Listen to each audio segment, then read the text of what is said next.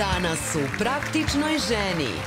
Jagnjetina, ali u mleku, dugo kuvana, tako da se topi u ustima, a zadovoljava ukuse i najizbirljivijih degustatora. Pogledajte vi ovo.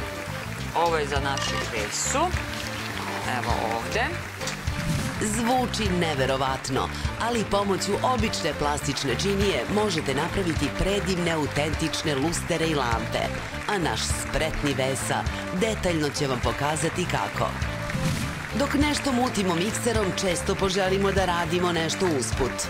Rešetka je rešenje. Torta od pohovanih tikvica, tražit ćete parče više. Raznolikost slanog posluženja na trpezi možemo obogatiti baš ovim receptom. Dobrodošli u praktičnu ženu. Sa vama je Nataša Pavlović.